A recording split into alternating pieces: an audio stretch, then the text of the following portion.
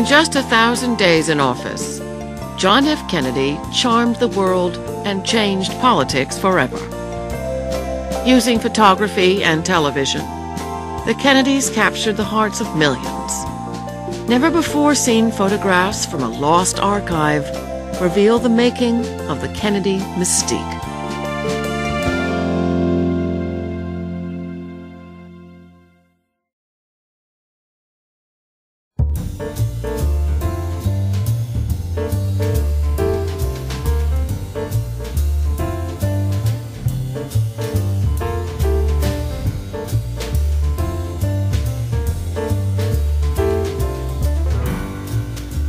Over 40 years ago, an extraordinary American family moved into one of the most famous homes in the world and changed our view of the presidency forever. With glamorous Hollywood good looks and two camera-friendly children, the Kennedys helped usher in a youth culture that affected every aspect of American life. From behind closed doors in the White House to intimate family vacations, photography and television took the American public behind the scenes of its most regal couple. Photography went from a medium that documented politicians to a medium that helped sell their images. For a country fearful of communism and on the verge of a race revolution, the eye-pleasing Kennedys comforted Americans while exciting and inspiring people in Europe and beyond. They really conducted a coup d'etat in politics. They revolutionized it, no question. They shoved aside the old guard, Lyndon Johnson, Adlai Stevenson, Sam Rayburn, all of these people. They shoved them aside. And uh, imagery, of course, was a great part of it. And as television was gaining strength, why he did more on that. You cast your vote for Kennedy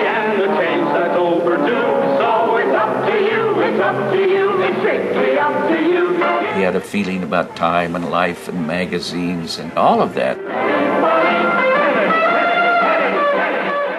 in 59, the beginning of the presidential campaign, they, they had an increasing rea- realization of how uh, good television was for them and how good they were on television. The Kennedys' political revolution would be televised for the first time.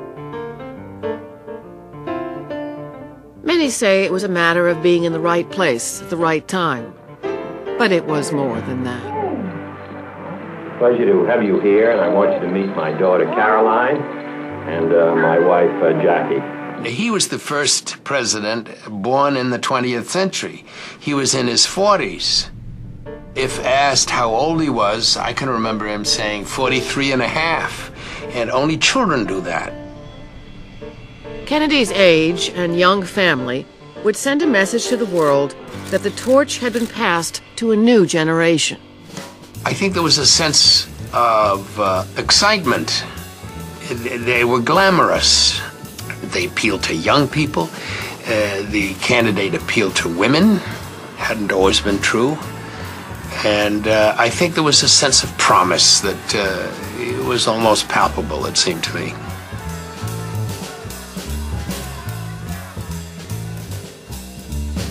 Beginning with the Kennedy inauguration, Washington and Hollywood merged for the first time.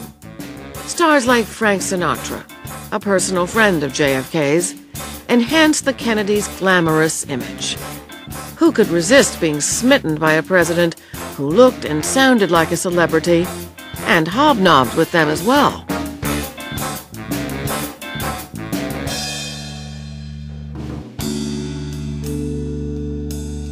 Yet beyond the razzle and dazzle was a very powerful, awe-inspiring call for America to come to action.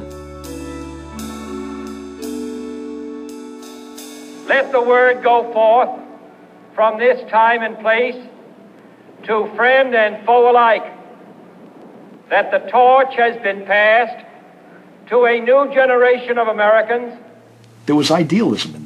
the air. There was the sense that here was a young, vital, attractive president who was speaking to our highest ideals.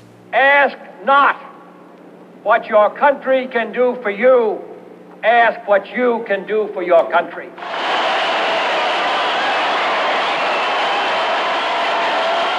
there was just that wonderful feeling of effervescence and youth and and that there was a better way to do things in the world and you you got that excitement and then he was, let's be honest about it, very handsome, photogenic. He and Jackie, the whole family. Wherever you pointed a camera, it was wonderful.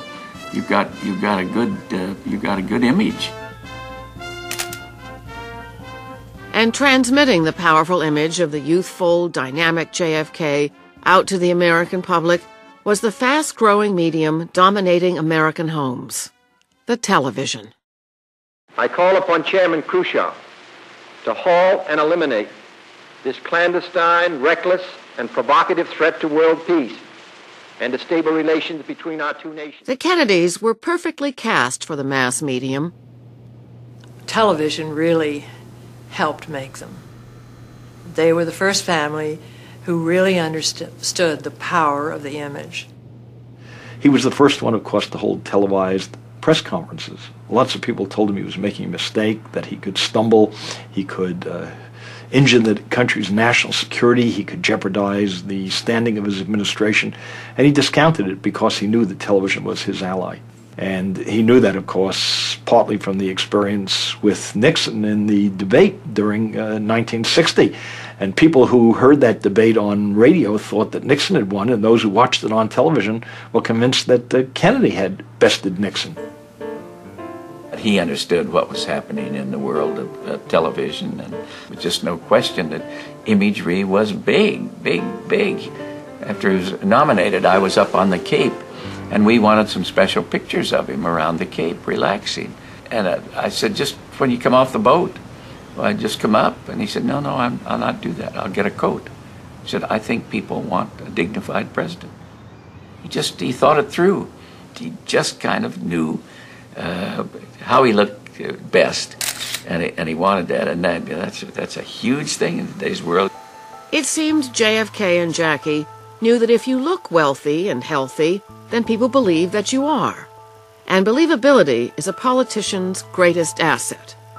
Much of the public embraced the Kennedy image as a perfect example of the American dream come true. You are going to create an image of a president who is a wonderful family man. The children, Caroline and uh, John John, were a tremendous political assets, so to speak. Jacqueline Kennedy was an extraordinary political asset because she was so beautiful, so aristocratic, and gave Americans the feel that they had an aristocrat in the White House. That this was someone who could rival British royalty, who could rival the British aristocracy, and we liked that. So it was a conscious effort on the part of Kennedy and the White House to promote an image of the family man, of the loving father, loving husband, and behind the scenes, of course, there was a very different picture.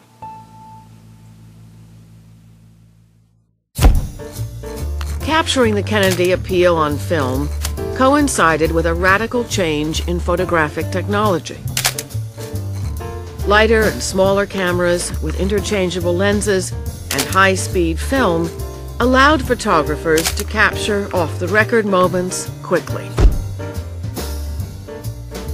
These unposed, natural looking snapshots perfectly reflected the Kennedys' casually elegant style. Photographs were coming into play in the 60s more so than pre previous years as far as uh, the White House is concerned. We don't see many pictures of Eisenhower uh, or Truman or Hoover or Coolidge, you know, the, the old timers we never had a photographer following them around for any number of reasons. One, the art hadn't progressed that far yet. The Kennedys became enamored of 35 millimeter photography. Uh, politics uh, uh, really hadn't gotten into it yet. The Kennedys were the first political family with real media savvy. JFK was born into a political dynasty an immigrant family that reached the highest office within three generations. The rapid ascent of the Kennedys was masterminded by JFK's father, Joseph Kennedy, a shrewd businessman, ambassador, and Hollywood producer. Joe Kennedy was a master of the art of uh, public relations. He had a family with nine children, and in the midst of the Depression, he gave the country the feeling that he was a, a family that could ride through this uh, terrible economic crisis. And so he projected an image. He used his family. And John and Robert and Ted Kennedy, they all learned it from him. They learned that in this mass media culture of ours, if you're going to be a, a, huge success, you need to master the art of public relations, of how you deal with uh, a mass audience. And they were very sensitive to that. In addition to the cameramen that were assigned to the White House, the Kennedys themselves hired photographers to record their activities and travel with them wherever they went. Was the idea to create an archive of images for a presidential library, or a collection of photographs to promote the Kennedy appeal to the public. Many photographers worked with the Kennedy administration. Two of the most prominent were Cecil Stoughton, the official White House photographer, and Jacques Lowe, JFK's personal photographer. There was a moment when the change occurred from him being an occasional person on the scene to someone who was part of the crew he would go to Jack Kennedy, say, "Okay, Jack, what is it that you want me to capture? You know, what what are you wanting people to see? You know, give me some direction." And Jack would just say, "It's okay, Jack. Just just hang around, just hang out, just just just be here, and just take photographs of whatever you want." This is a super wide Hasselblad. I can use this in my right hand and cover the whole inside of a, of any given room. In the parlance of the trade, uh, a hail mary is when you. Uh, raise your hands up above your head with the camera and, and just point discriminately at the subject that you're trying to photograph without looking through the viewfinder. Cecil and Jacques captured the excitement and vitality of all White House events in stunning photojournalistic images. Jackie Kennedy knew that the White House itself was a great opportunity to show the world that the Kennedys were immensely proud of their American heritage.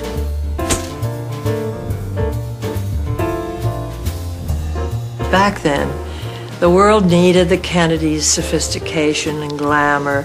It had been such a down period for so long. We had World War II, and then we had problems with the communists in Europe.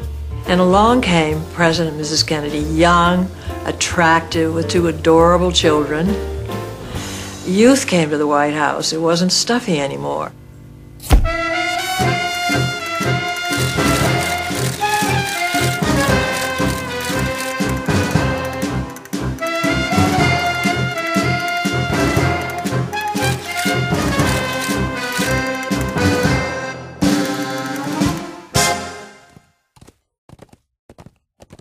Jackie looked as beautiful horseback riding in jodhpurs as she did in a Givenchy gown.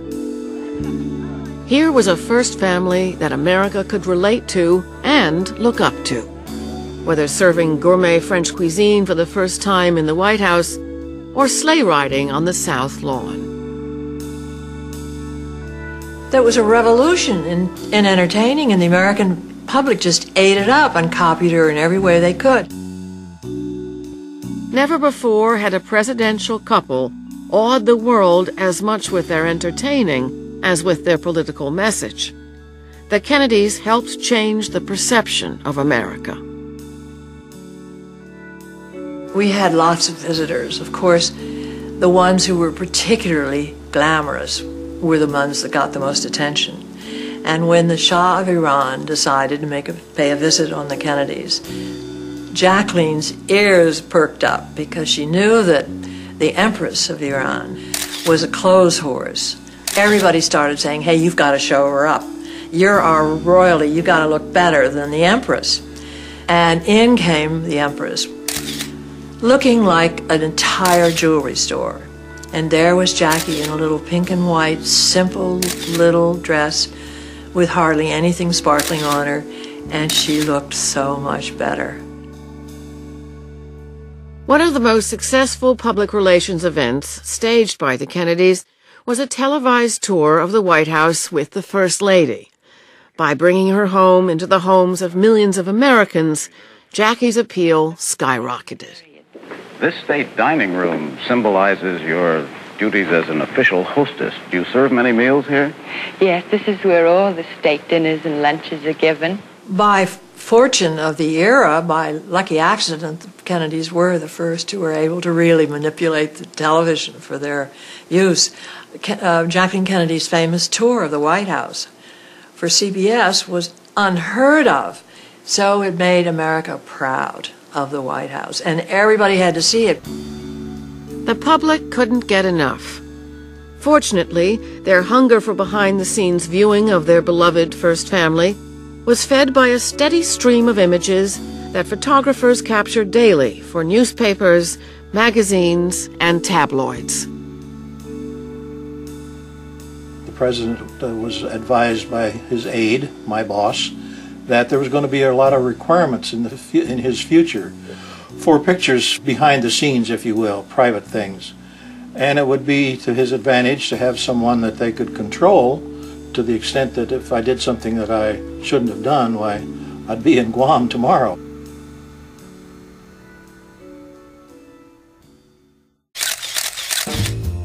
In order to make a great picture, you have to understand what a great picture is. Having been a magazine photographer herself, an inquiring camera girl for the Washington Times Herald, Jackie Kennedy understood photography as a real art form. She would have recognized that pictures of a loving father and family man send a powerful message to the public that the president is trustworthy and compassionate. After all, a picture is worth a thousand words.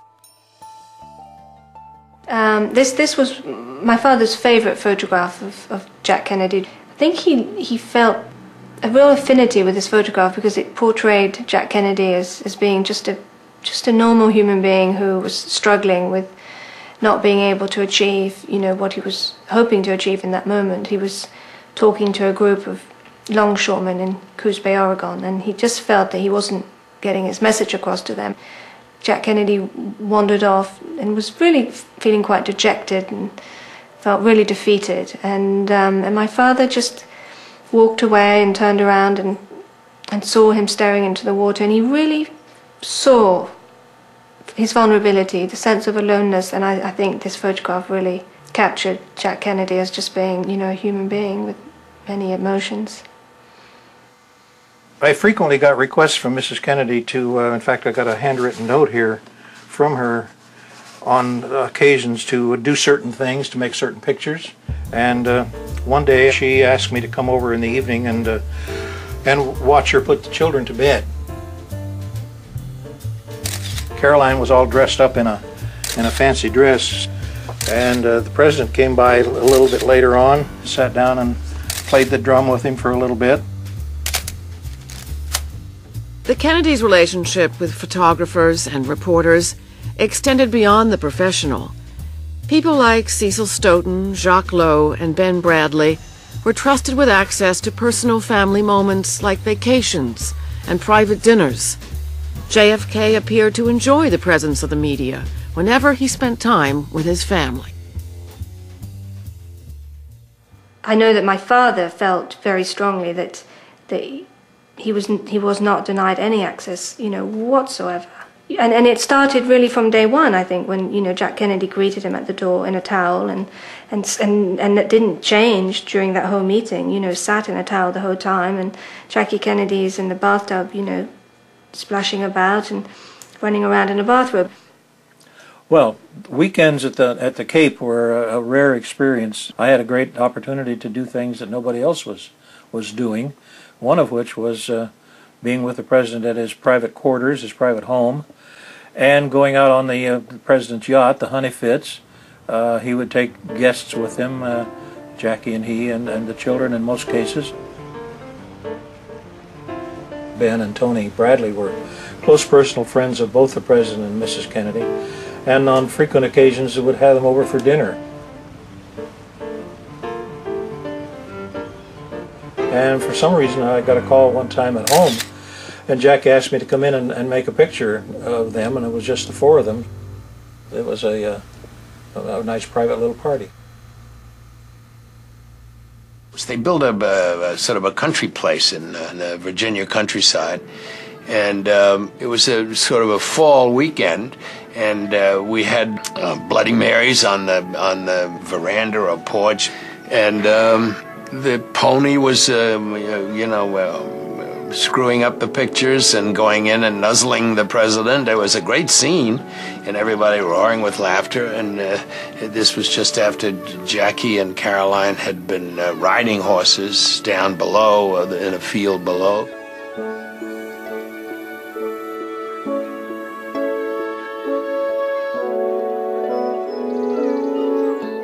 Forty years later, these playful home movies amuse, delight, and even move us.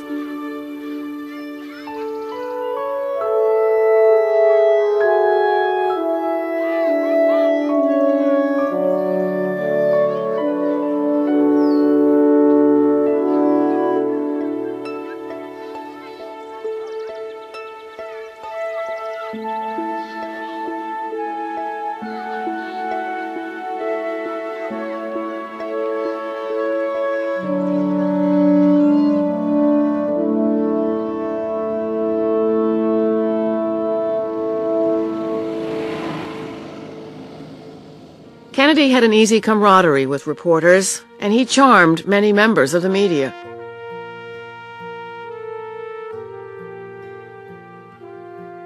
Well, it's well known that the president had friends in in the uh, in the press corps, and more importantly, he was he fancied himself as a reporter himself because he had a he had a job for a while with international uh, news back in the early 40s.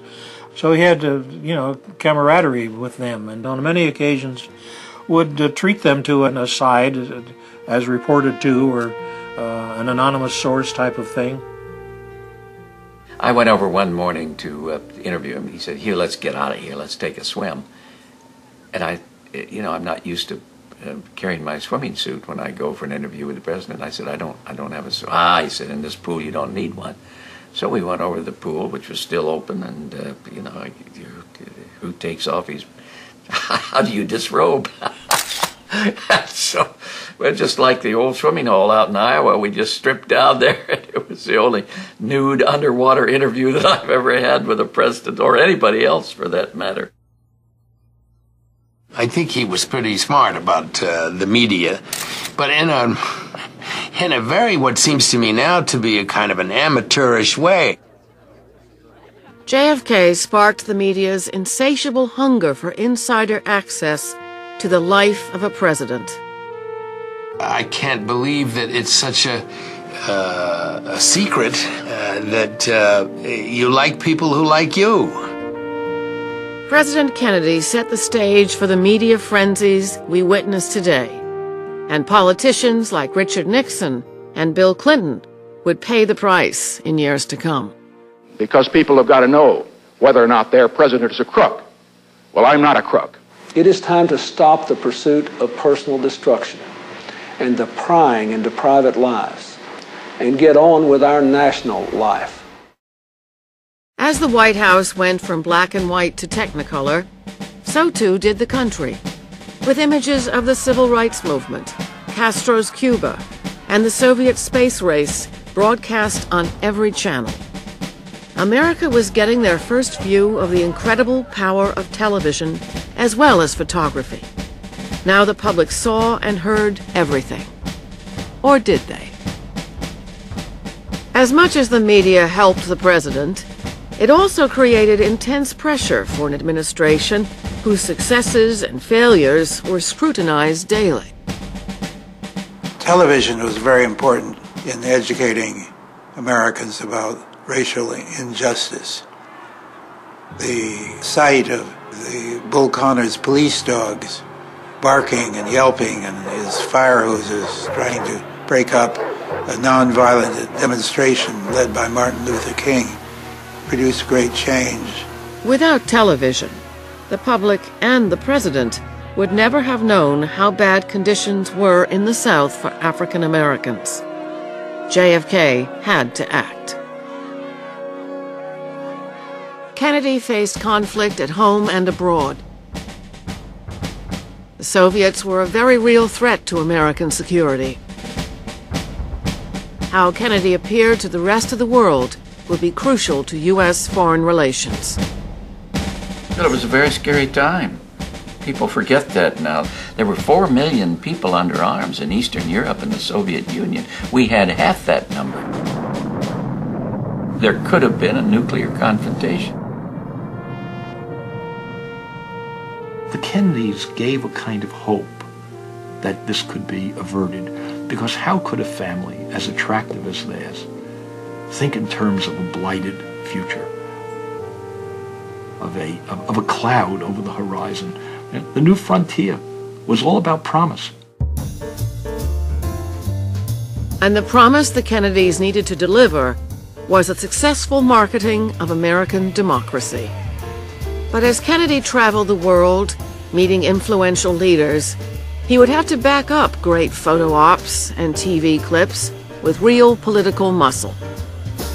In June of 1961, the Kennedys flew to Paris to meet with French President Charles de Gaulle to show the European establishment a new kind of American president. Kennedy replaced Eisenhower's military-style gruffness with suave star power, to great effect. De Gaulle was very much down on the United States and very questioning of Kennedy. It promised to be a, really a kind of a tough exchange. And I remember when this young couple came out of the door of Air Force One, they looked so good and they acted so good. And, and you could see old de Gaulle begin to melt right then.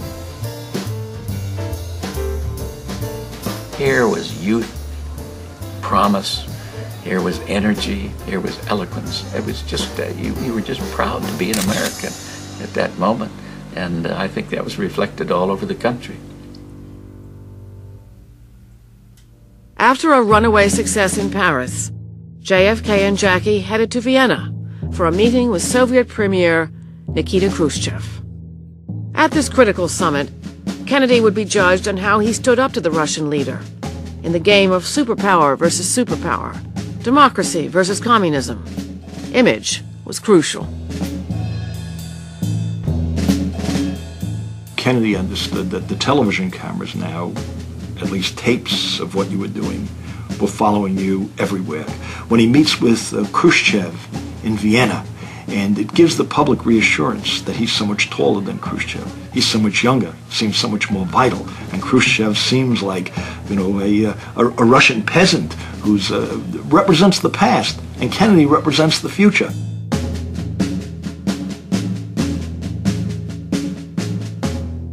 Kennedy suffered a disastrous blow at the Bay of Pigs in Cuba in April 1961.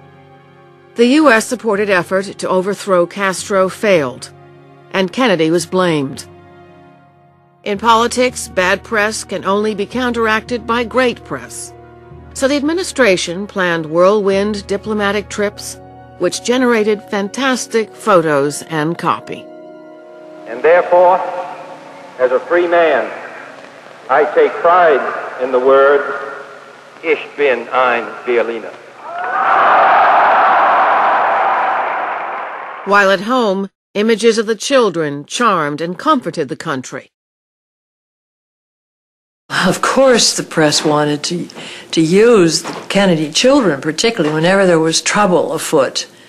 When there was trouble in America, when there were strikes or tragedies, you know, pop some pic- pictures of the Kennedy children in the paper and people will feel suddenly better. And that happened occasionally. That was orchestrated, but only occasionally.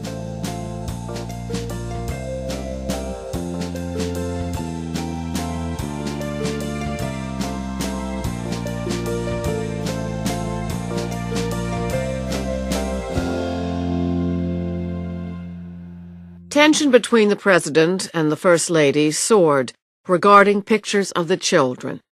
JFK and his advisers knew how powerful the joyful shots could be in making America feel better in the face of mounting fear and anxiety. But Mrs. Kennedy, a notoriously private woman, wanted to protect her children. The press, of course, were hungry for pictures of the children, but there was never this behind the scenes, uh, close up, uh, day in the life of type thing for the children, as far as Mrs. Kennedy was concerned. Why then would she allow photographers to document her private life, in personal quarters in the White House and on vacation? The president, on the other hand, realized that uh, those children made headlines whenever the press had a chance to use them. You know, what would often happen is Jackie Kennedy would, you know, would leave. Jack Kennedy would ring my father and say, Jacques, come on down, you know, I'd like you to take some photographs. And so he'd turn up and, and he'd say, oh, could you take some pictures of the kids? And Dad would say, you know, Mr. President, you know I can't do that. Jackie doesn't want me to take photographs of the kids. And he'd say, don't, don't worry, Jacques, I'll, I'll you know, I'll, I'll take care of it. Don't worry. And he'd say, okay. So he takes photographs of the kids and they would turn up in a magazine weeks later and he'd get a, you know, very irate Jackie Kennedy on the other end of the phone saying, you know, I told you not to take photographs. How could you? And he'd say, well, you know, Jackie, I spoke to your husband and he said it was okay. And she'd say, Well, let's go and talk to my husband and see what he says. And sure enough, Jack would sort of deny having ever had the initial conversation and he'd say, you know, Jacques, you know, how how could you do this? I you know, I didn't give you permission and and, and so the relationship between my father and Jackie Kennedy suffered as a result, and I think she never really trusted him.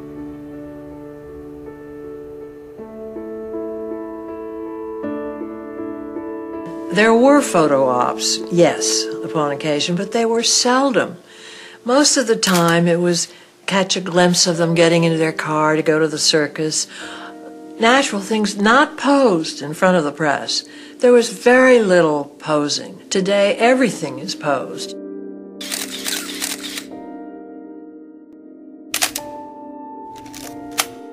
We've seen the photos of Caroline and John John dancing in the Oval Office playing on the South Lawn. We imagine the White House as a warm, inviting place. So what do these pictures of politics and playdates say about the Kennedy administration? This was real. Uh, my being there was incidental. He didn't call me in to, to say, stand here and do this when I make this face. It happened that way. But the the fact that the president used photography in his in his position, I would say uh, he was a master at it. He was offered the job of White House photographer, and he happily turned it down because he knew that what that would mean for him was, you know, restriction all the way, and he couldn't function like that. My father, it wasn't how he operated as a photographer, and and, and Jack Kennedy knew that about him and was happy to, to embrace him and to sort of welcome him onto the bandwagon, so to speak. And my father was never, ever given, you know, um, restrictions in terms of what he could photograph. Never. In fact, the very famous photograph of Jack Kennedy leaning on the desk, where you know he's leaning because he's trying to take pressure off from his back, is, is one of the key images that was sh shown in all the books. Not a problem.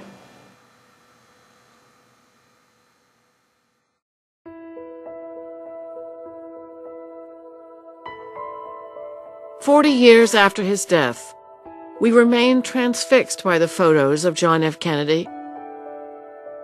Dashing, handsome, witty, and intelligent, a hero and a star. Yet despite controversial revelations about President Kennedy's private life, he remains a beloved American icon. It's well known now that John Kennedy was a uh, a womanizer, uh, that he was a, a, tremendous philanderer. And I talked to journalists and asked them, did you know about his womanizing? Many of them said yes. Those who said they weren't sure had strong suspicions. But I asked all of them, why didn't you go after this? Given the current climate in which newspapers, journalists, uh, television folks wouldn't think for two seconds about uh, turning this into a, a major headline story. Uh, why didn't you go after it? They said the culture of the 60s was entirely different. You did not probe a president's private life in that way. Kennedy was not the first president to have extramarital affairs, or the last. Was it a conservative 60s sensibility that protected the president? Or was it his charisma and cooperation with the press that caused them to willfully focus on other stories? He said, Well, why didn't you do the women? Well, we didn't do it, basically. That, that's the first reason. But there was a crisis every week in that first year. We had the Bay of Pigs, then the Russians beat us into space, then Kennedy went to Vienna, then the Berlin Barrier, and all that summer there were threats all over. Then we had the beginning of the problems in Laos. There were just uh, one thing after another. Well, that kept us busy. But every presidential administration has nonstop issues or events that can keep reporters occupied.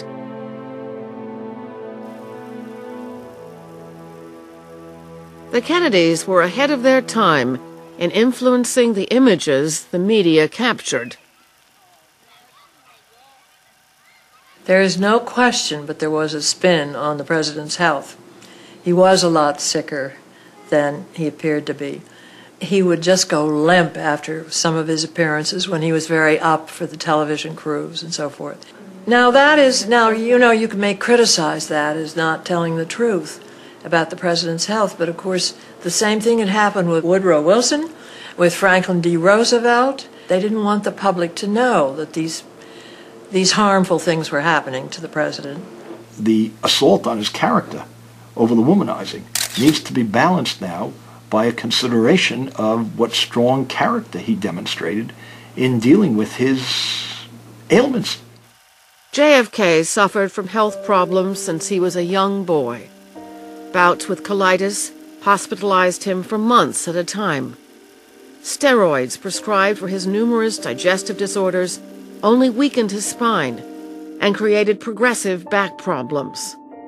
More than once, Kennedy's health issues were life-threatening, but this was kept a secret. In the early days, when I went into his Senate chamber, there were a pair of crutches. I see him on crutches in his office back then and he, yeah, he looked kind of wan and and uh, looked kind of run down. I think he was tired because he traveled a lot. But basically, he was he was very photogenic, and also they controlled the access pretty good. President Kennedy had to be even more image conscious. One of his greatest assets was his youth. Youth is equated with strength, and strength is equated with power. Ultimately, he controlled his image well enough to appear healthy and robust to the American people. But I remember going in one time in the Senate office and he was getting a haircut. And he was as vain as a woman. Uh, don't don't cut that. Oh, that's too much. No, no, don't do that. Do this. Just a little here. You know, it was painful to listen to him because, because he was very much aware that, you know, his hair, his teeth, his grin, all that were big. And I remember once I got on the Caroline, and here was this very beautiful young flight attendant, and she had her fingers in his hair and was massaging him, and I thought, oh my goodness. I've uh, I've stumbled into something very intimate here. I shouldn't be here. Well, it turned out that she applied what is called Mrs. French's hair preservative. Quack medicine, if I'd ever heard it. But he had the idea that he kept his hair, and he was very concerned about that. So he was very vain. The image of him is so robust and healthy and vigorous and playing touch football and out there sailing uh, uh, off of Cape Cod. Uh, this is the image of him, which they cultivated because what they did was to practice a cover-up. There was a cover-up of the extent to which he had these terrible ailments. If it weren't for the medicines, I don't think he could have functioned all that effectively as president. The Kennedy presentation of vigor was a smashing success.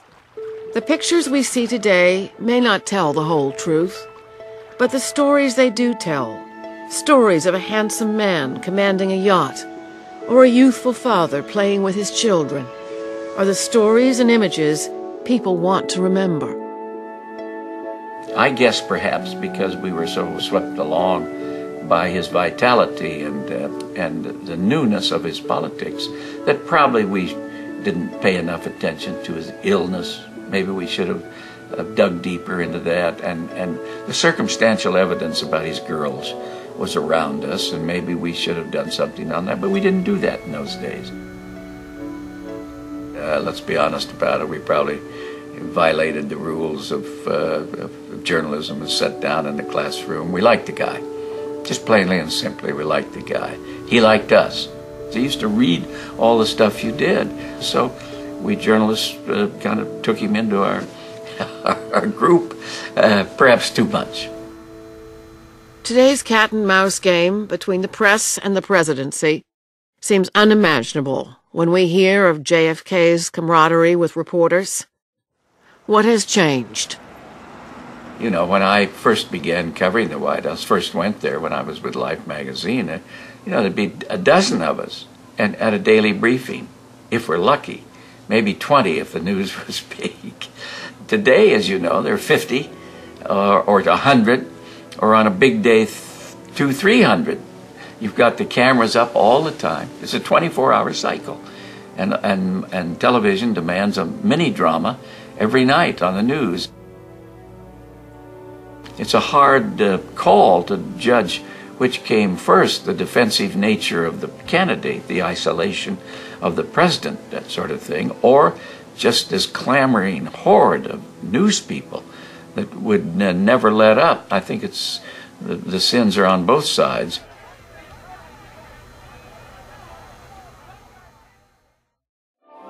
We interrupt this program to bring you a special bulletin from Dallas, Texas. Three shots were fired at President Kennedy's motorcade today. downtown area. also appears to have been struck by one of the uh, Memorial Hospital. I am at the hospital now. Fitzgerald Kennedy is dead. What was it, four days of continuous television? We'd never seen this. You know, the young prince is slaughtered on the streets of Texas. And, and for four days, that's the only thing anybody thinks about or hears. I was in shock for four days. I'm sure a lot of people were. But I, I, I just moved uh, like an automaton. My uh, trusty cameras worked for me. Captured on film, the horrific assassination of a wildly popular president, John Fitzgerald Kennedy. The news dominated the international press, and the whole world experienced his death. Up close and personal. And it was terrifying. First off, a friend's killed. A friend, and I think America felt that. This was kind of their son or their brother. Uh, a friend is killed. Then, then secondly, a president, the head of our government, uh, he's cut off. He's dead. It's over with. And then, and then thirdly, an administration, the new frontier, is gone because that's a very personal thing. The, the tone uh, and the style of any administration comes from the president. And that was done instantly. So you have this huge, huge trauma, this convulsion, this upheaval. And the country's never forgotten it. November 22nd, 1963, would become a historical milestone in the American conscience. Anyone who lived through that fateful day can recall with lucidity where they were and what they were doing.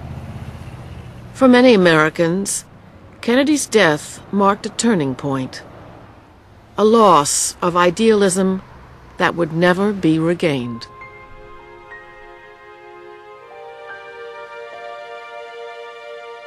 Rising to power in front of the camera and dying in front of the camera made John F. Kennedy immortal.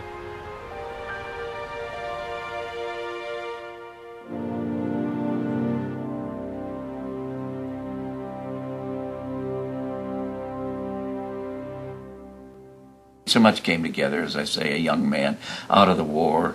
Uh, America begins to really run the world at that time. He's good looking, the family, all of that sort of thing. And then you had a photographer who was in there that did it. But don't don't discount what the assassination did. I mean, I, you know, that just engraved it on everybody's mind. Uh, we'd never been through anything, and that's part of imagery also. It's been uh, happening since he died. I mean, the interest in Kennedy is still amazing. And uh, the, the television plays a huge role in that, too, because uh, there isn't a, a, night goes by that you don't see Kennedy on television. If you want to, uh, somebody's running something about him. Now the photographs speak for themselves. However they were constructed, or what the motives were behind their making, pictures of the Kennedys continue to captivate the world.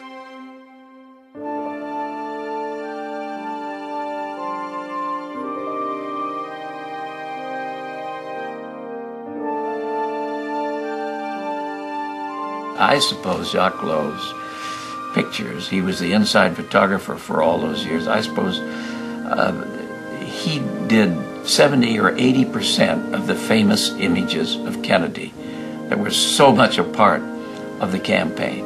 And that's lived, that's stayed. And it's reproduced all the time. You know, we every every few few months there's another book on the Kennedys. It's it's just inexhaustible when he died, his, most of his his appeal was promise. He hadn't delivered all that much in terms of changing the country, except in that sense of uh, of uh, excitement and hope. But uh, you know, that's all on the come, all to be, and uh, he never got there. Kennedy will continue to have this exceptional hold on the public because he's associated with young promise. And his brother Bobby Kennedy adds to this by dint of the fact that he was also assassinated at so early an age. And so all of them, Bobby Jack and John Jr., having lost their lives at so early an age, so full of potential, so full of promise, and the country kind of clings to that promise. It's, it associates them with, with a better America. In the end, the Kennedy images are treasures.